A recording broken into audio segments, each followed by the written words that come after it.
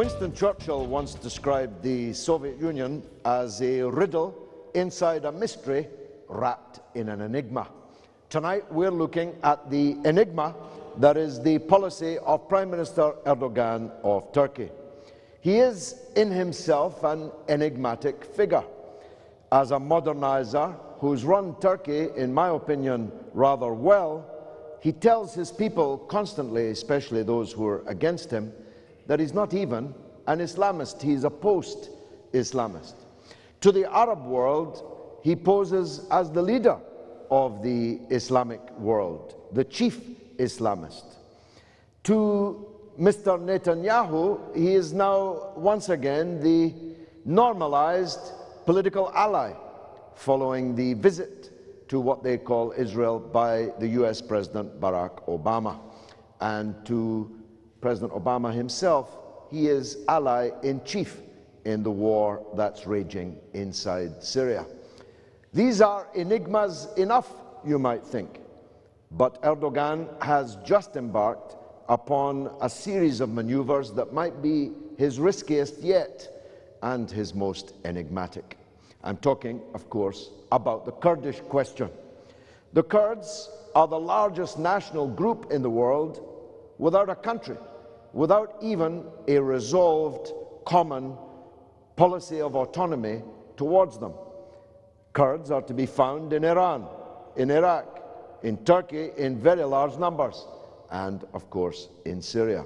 More than 40 million Kurds live in those territories and many of them scattered abroad as refugees. The Turkish Kurds have long been associated with, whether they liked it or not, the policy of the PKK, a communistic, very militant group that has a long record of such dramatic acts as self immolation, setting fire to each other and to themselves in public places, and spectacular acts of what could only be described as terrorism. And indeed, until recent days, terrorists is what the Turkish state routinely described the PKK as, and its leader, Öcalan, alone on an island prison, sentenced, I believe still, to death. He was terrorist in chief. But 62 people have now been appointed to conduct a series of negotiations with the Turkish state and with Prime Minister Erdogan personally. It is an extraordinary turn of events and in itself a welcome one.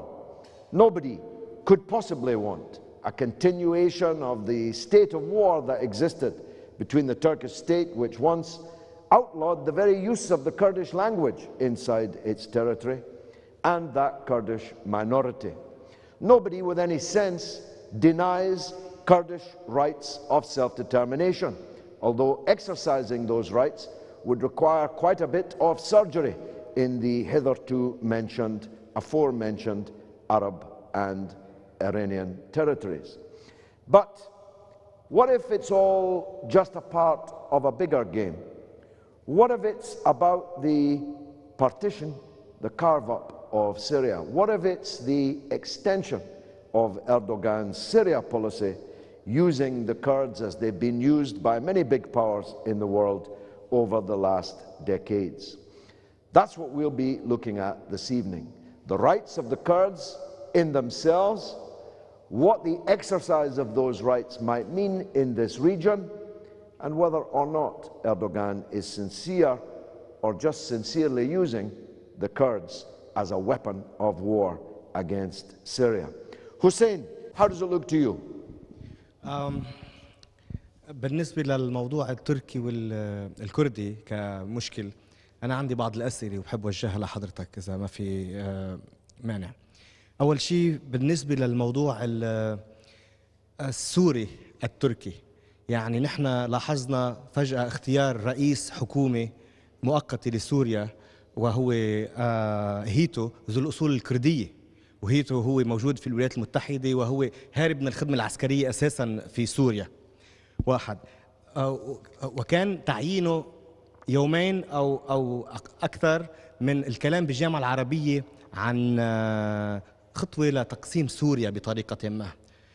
بقى بدي أعرف يعني هذا الت- الترابط الغريب شو شو فيك تخبرني عنه؟ هذا واحد. اثنين. آه، أعلن أوجلان من في بإعلان ديار بكر أنه هو يدعو إلى العودة إلى العيش مع الأتراك ضمن الأخوة الإسلامية أنا سؤالي هو هل يعني الأخوة الإسلامية كمسلمين أم يعني الأخوة الإسلامية كأخوان مسلمين؟ السؤال الثالث هل تعتقد أن الأكراد سيستجيبون بمجملهم آه، لدعوة أوجلان برمي السلاح والحفاظ على السلم وترك المراكز اللي الذي حصلوا عليها بالحرب منذ سنه 1984 Well, let me deal with these three questions in reverse. The first one is very easy to answer. The PKK will obey Öcalan to the letter. This much is clear. They followed him to the letter when he was free. They have followed him to the letter when he was incarcerated. They followed him to the letter when he conducted a U turn, probably to save his life, in relationship to the Kurdish state. So the PKK to me has a cult like relationship to its leader. And if Öcalan says the war is over and my ally is now Erdogan, that's, I believe, what will happen. Some people say to me, and Syrian people say it all the time, indeed Arabs say it all the time, whenever I raise the Sykes-Picot II question, that they might themselves be partitioned, that they might themselves have new lines drawn on the map by others for them. Well, that can't happen because all the people are living amongst each other, and you cannot easily partition Syria. Well, I have a great deal of knowledge of how India was partitioned. In India, hundreds of millions of people were on the wrong side of lines which were drawn. But that didn't stop the separated states coming into being, and it didn't stop the brutal logic of once you terrify the minority in your state, it's very easy to make them move to the new state, and vice versa. And that is very largely what happened in the case of the partition with Egypt, and it could happen in the case of a partition of Syria. As I outlined in my opening remarks, I'm somebody who believes the Kurds have a right to a state. The Kurds have a right, at least, to a contiguous relationship with each other and maximum autonomy within the states that they're living in. It'll take a lot of surgery if it's the former, and it'll take a lot of courage on the part of Arab leaders if it's the latter. What I can't accept is that the Kurds are put up on the shelf and brought down off the shelf repeatedly by the big powers to use against the Arab enemy de nos jours, as they were used in Iraq, where the British politician Lord Archer actually coined the phrase. Well, he said, there are good Kurds and there are bad Kurds. The good Kurds are the one fighting Saddam Hussein. The bad Kurds are the ones fighting our ally in Turkey. This kind of unprincipled opportunism, using the Kurdish question to settle scores in this place and then that place, this will never lead to any kind of uh, freedom or any kind of future for the Kurdish people. We'll come back to you, Hussein. I want to take, uh, please, Hamza, uh, who is uh, Turkish, and I'd like to hear his position as a journalist, how he sees this new development. Hamza, please. يعني نحن بداية اليوم في اتفاق صار بين عبد الله أوجلان اللي هو بيمثل حزب العمال الكردستاني الذي يوصف في كثير من الدول بأنه حزب إرهابي هذا الاتفاق يدعو إلى إحلال السلام ووقف الصراع العسكري داخل تركيا من أجل تحقيق الأهداف التي يضعها الرئيس رجب طيب أردوغان وحكومته من أجل النهوض بتركيا واقتصاد تركيا آه، وخاصة الأهداف الك- الكبرى التي أعلنها آه، وستنجز إن شاء الله حتى عام 2023 فهذه الأهداف كي يتم تحقيقها والسير فيها بطريق النجاح يجب أن تتخلص تركيا من أي صراع داخلي آه، من أي صراع داخلي يؤثر على هذه الأهداف سلبا. لذلك قامت حكومة العدالة والتنمية برأيي بهذه المفاوضات وتسعى هي جاهدة اليوم لتحقيق السلام العادل والشامل مع الإخوة الأكراد الذين هم في حزب العمال الكردستاني لأن حزب العمال الكردستاني وكما هو معروف لا يمثل جميع الأكراد. فهناك فئة من الأكراد هي نفسها تنبذ هذا الحزب ولا تعترف به. لذلك قام أردوغان حسب ما هو مشاهد اليوم بسعيه وسعي الحكومة التركية لإنهاء هذا الصراع ولتحقيق السلام ولإعطاء الأخوة الأكراد حقوقهم كاملة تحت راية العلم التركي طبعا. لذلك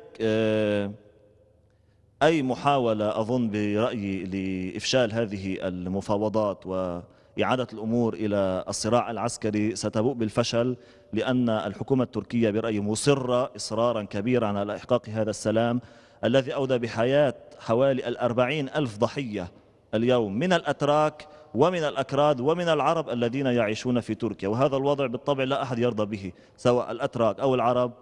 أو الأكراد. والأكراد اليوم يحصلون شيئا فشيئا على حقوقهم التي يطالبون بها. يعني أصبحت اليوم في هناك في تركيا قناة تركية رسمية باللغة الكردية.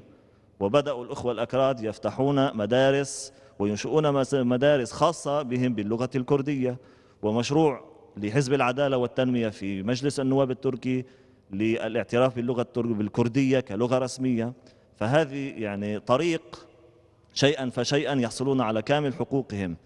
فلذلك لا أرى جدوى من أي صراع عسكري في المستقبل بين حزب العمال الكردستاني والذي أؤكد أنه لا يمثل كل الأتراك الأكراد في تركيا أو في سوريا أو في إيران التي إيران هي نفسها تضع هذا الحزب على لائحة الإرهاب.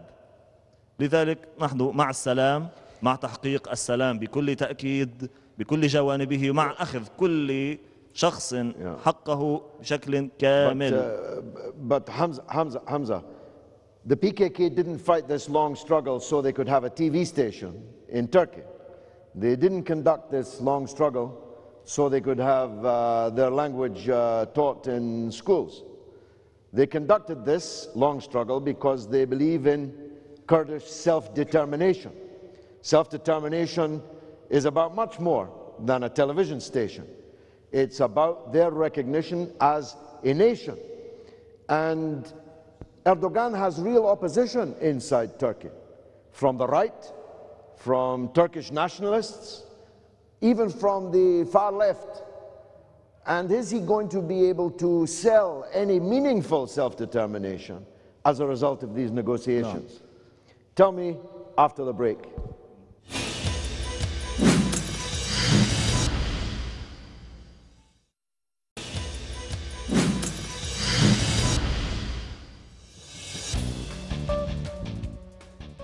You're watching Kalima Horra with me, George Galloway, on Al Mayadeen television. We're looking at the latest turn in Turkish events, the apparent will for reconciliation between the PKK and the Turkish state. I was asking before the break, Hamza, a Turkish journalist here in Beirut, if he thought that Erdogan, given the opposition to him inside the country, from the right, from Turkish nationalists, and given the 40,000 dead in the long war with the PKK, whether Erdogan could make sufficient concession to bring an end to this long conflict. Hamza, please, the floor is yours.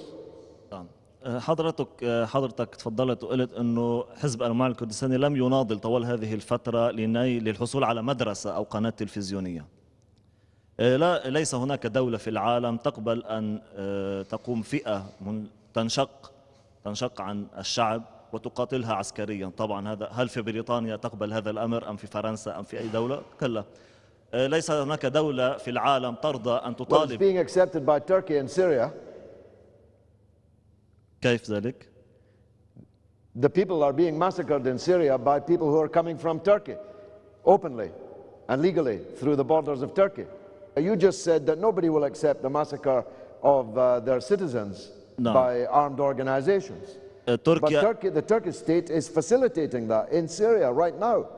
تركيا ابدا آه، بالموقف الرسمي التركي يؤكد أن الحكومة التركية وبشهادة آه، أحد النواب الأتراك عن حزب العدالة والتنمية قبل يومين صرح من بيروت أثناء زيارته لبيروت أن الحكومة التركية لم تقدم إلى الآن أي رصاصة لمقاتلي المعارضة السورية وهذا الأمر غير. هنا فين؟ من لبنان. من لبنان يدخل السلاح من لبنان إلى سوريا عن طريق التهريب وهذا الأمر طبيعي قد يحدث من تركيا. أما بالطريقة الرسمية هن لا تركيا لا تدعم عسكريا المعارضة السورية. نحن الآن دخلنا في موضوع آخر يعني ليس هذا موضوع الحلقة. لنعود إلى موضوع الحزب العمالي الكردستاني. فالحزب العمالي الكردستاني كما قلت الآن يعني أنا أدعو إلى إجراء آه، استطلاع رأي عند الأكراد كل الأكراد وأتوقع أتوقع بل أجزم أن تكون النسبة الكبرى ترفض ما يقوم به حزب العمال الكردستاني من أمور عسكرية. هناك طرق سلمية وسياسية للمطالبة بهذه الحقوق والنتيجة الآن هم سيجلسون إلى الطاولة يعني أرب- أربعين ألف ضحية لم من خلال لم يصل إلى أي نتيجة الآن سيجلسون إلى الطاولة وهذا ما سيحصل في سوريا في النهاية بين المعارضة والموالاة في نهاية المطاف سيجلسون جميعا إلى طاولة الحوار بعد أن سقط حوالي المئة ألف قتيل بين Well, uh, Hamza, it's not quite without result. Uh, these negotiations have begun. Uh, Öcalan was sentenced to death. Now he is alive and negotiating directly, or indirectly rather, through his 62 negotiators. So not quite without result. Uh, let's hear from uh, some of the Kurdish voices. Hamza, we'll come back to you, uh, who are with us here this evening. Yes, brother. آه، شكرا لك باعتبار كلمة حرة فناخذ حريتنا بالتمام آه، اسمي كادار بيري ناشط سياسي وحقوقي كردي سوري آه، مدير مؤسسة أكراد بلا حدود اللي بتدافع عن الكرد مقررة بالأربع مناطق الكردية بداية بدي أرد على سؤال الأخ اللي, اللي ما حضرتك آه، ما جاوبت عليه آه، غسان. هيتو ما بمثل الأكراد؟ هو كردي من أصول كردية ما بمثل الأكراد. مسألة إنه آه، كان مطلوب للعسكرية أو من هذا الشيء أنا المعلومة مش متأكد منها بس اللي بعرفه إنه ابنه كان عسكري وانشق آه، ضمن صفوف الجيش الحر. النقطة الثانية بالنسبة للي حكاه القائد عبد الله اوجلان آبو آه، ما ما يعني ما في ما في آه، آه، رمي سلاح. لا يعني ما في تنازل عن السلاح. هي آه، بادرة وخطوة جيدة جدا اللي قام فيها القائد آبو اللي هي آه، آه، انسحاب المسلحين إلى خارج الأراضي لمرحلة مؤقتة للتفاوض لإعطاء حسن نية اللي سابقا عدة مرات الأكراد أوقفوا إطلاق نار من طرف واحد. والأطراف ال- اللي كان حكومة السيد أردوغان أو الحكومات اللي حتى اللي قبل منه ما كانوا يتجاوبوا معه وكان يتم ال- القصف والتدمير وال- والقتل من قبل الحكومة التركية بحق ال- الكرد. معلومة صغيرة بس آه، آه، تعداد المساحة المساحة الجغرافية لإقليم كردستان تركيا 225 ألف كيلومتر مربع. 19 محافظة هن كرد. تعداد السكاني ما في إحصاء دقيق ولكن أكثر من 20 مليون كردي موجودين. حزب العمال الكردستاني مو وليدة لحظة. ما فجأة طلع انه إنه أنا حزب العمال الكردستاني وأنا القائد المسيطر، حزب العمال الكردستاني هو امتداد لثورة الشيخ سعيد بيران من 1925 وما قبلها امتدادا إلى النشاطات الحركة الكردية كاملة اللي اللي من عذابات ال- ال- ال- السجناء من من آه، آه، الضحايا الشهداء اللي انحطوا. آه، خلال فترة الحرب هاي الأخ آه، ما ذكر نقطة نقطة كثير مهمة. في 4000 قرية كردية دمرت محيت تماما. 4000 قرية قصفت بالطيران دمرت تم محيها تماما. ال- الكرد ما بيمتلكوا هذا يعني ال- الأسلحة اللي تم ال- الت- التدمير آه، فيها. آه، فتح قناة كردية فقط للأغاني والرقص مو هذا مطلب الشعب الكردي. شعب آه، آه، شعب آه، ضحى شعب مناضل شعب حياته شعب تاريخه عنفوان وحرية آزادي آزادي مش مدارس خاصة مش مدارس مش في شيء ما في شيء معترف من الدولة. والقناة قناة غنائية قناة للطرب مو هذا مطلب الشعب الكردي. اثنين بمسألة اللغة وعلى قبل فترة قصيرة من حوالي أقل من من يعني سنة ما عندي معلوم يعني التاريخ مش متذاكره بالضبط. برلمانيين كرد تم انتخابهم ديمقراطيا حسب القوانين الموجودة بتركيا. مع كل شيء عم بيصير لأنهم تحدثوا باللغة الكردية تم سجنهم. هن برلمانيين آه، انتخبوا شعبيا ديمقراطيا بالمفهوم اللي دارج عالميا كلياته. تم تم سجنهم وتم آه، لأنه تحدثوا لأنه أرادوا الدفاع عن أنفسهم بلغتهم الأم. نحن بنولد ما بنعرف أي لغة ثانية العربية لغة دخيلة عندي. مش مش يعني إنه تقصيرا باللغة العربية لا. لغه هي لغة القرآن هي لغة نفتخر فيها ولكن لغتي الأساس الكردية. فهذا آه، آه، حقي الطبيعي. اثنين مسألة إنه حزب العمال الكردستاني حزب إرهابي. نتحدى الدولة التركية إنه يجيب حدث أو تاريخ واحد نقطة واحدة بس تقول إنه حزب العمال الكردستاني قام بقتل مدنيين أتراك بأي نقطة بالعالم. كل عمله وكل جهوده كانت موجهة ضد عساكر الأتراك ضد المحتل التركي للمناطق الكردية. كانت موجهة ضده. فما كان ما كان ولا في عملية. سبب إنه حزب العمال الكردستاني تم تصنيفه بلائحة الإرهاب بقناعتي أنا والحقيقة اللي بتفرض عليها مواقف حزب العمال الكردستاني من القضية الفلسطينية دعم القضية الفلسطينية.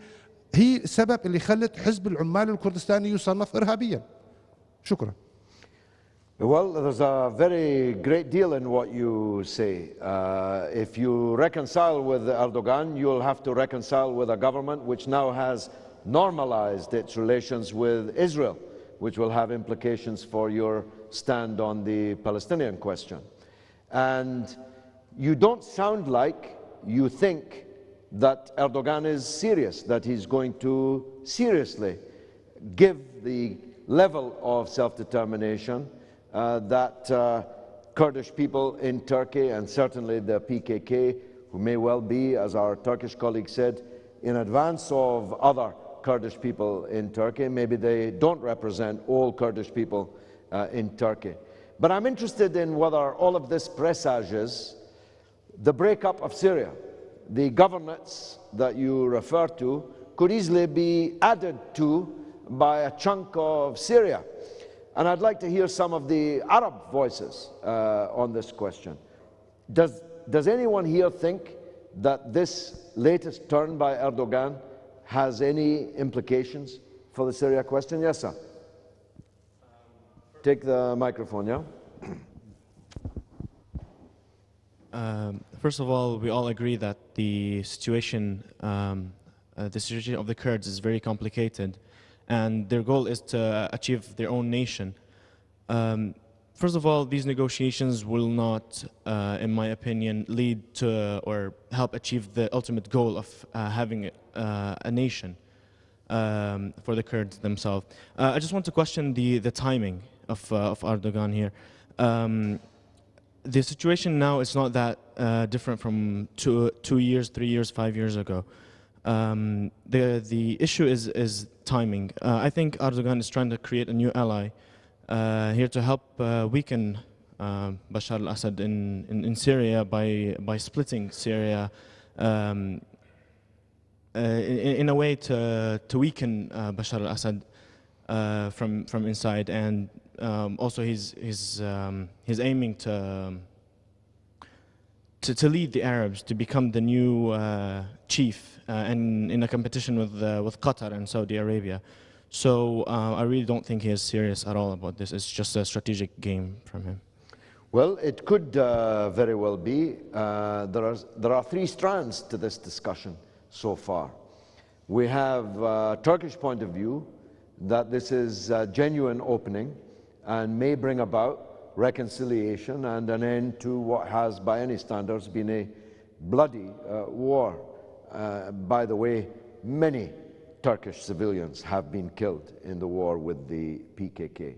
Uh, whoever the targets were, the actual fatalities were in many, many cases Turkish civilians. And a second point of view that makes clear that the Kurdish national aspirations will not be easily satisfied. They'll not be satisfied with a music station on Turkish TV. And thirdly, a feeling expressed by a Lebanese voice that this is all part, potentially all part, at least I don't want to misrepresent him, of an attempt further to weaken the government in Syria and to cut at least one sinew of the uh, Damascus government's ability or attempt to keep control over its own country. It's a good debate, I hope you think, and I'll be back with the next segment after this.